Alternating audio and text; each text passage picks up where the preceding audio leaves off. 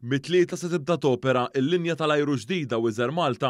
L-ewwel titjira tal-Wizz Air Malta se titlaq mill-Ajruport Internazzjonali ta' Ruma fi Fiumicino. Dan wara li l-kumpanija ingħatat iċ-ċertifikat tal-operat tal-ajru mill-Aġenzija tal-Unjoni Ewropea għas-Sigurtà fl-Avjazzjoni u l-liċenzja operattiva mid-Direttorat tal-Avjazzjoni Ċivili ta' Malta.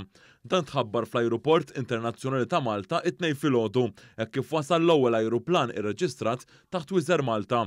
Dan intlaqa' minn salut tradizzjonali permezz tal-kanuni tal-ilma fil-mitjar Malti. Il-President ta' Wizz Air, Robert Carey, qal li t-twaqqif ta' Wizz Air Malta se jipprovdi opportunitajiet biex il-kumpanija tiddiversifika aktar l-operat tagħha u tixpruna t-tkabbir.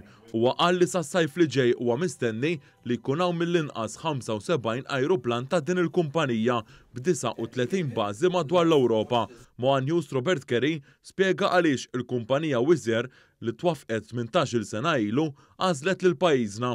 I think, look, it was a thorough selection process. We went through all of Europe to basically look at it, but we saw the best you know, supportive environment here in Malta for you know, allowing us to grow the business and, and, and really see prosperous growth going forward. So that's why we chose Malta and we're excited to launch Wizz Air Malta today. Minna tiegħu il-Ministru għat-Trasport Aaron Farrugia għal huwa ta' sodisfazzjon kbir li Malta intażlet għal din il-linja tal-ajru ġdida. Il-Ministru għat-Trasport qal li Malta qed tkompli tappoġġa l-investituri sabiex jagħżlu lil pajjiżna bħala il-ġurisdizzjoni tagħhom għall-benefiċċju ta' din l-industrija importanti u dan se jwassal biex tkompli tissaħħaħ l-ekonomija ta' pajjiżna. Qed inkomplu naraw li fejn jidħol is-settur tal-avjazzjoni Malta qed tkompli ssir il-ġurisdizzjoni tal-għażla ta' ħafna kumpaniji barranin li ġejjin hawn Malta.